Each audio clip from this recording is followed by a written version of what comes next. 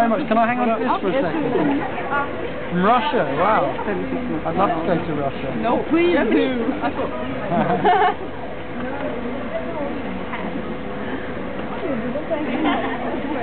Thank you very much. Uh, in a minute, I'm just going to Yeah, I'm here to, um, I'll it back.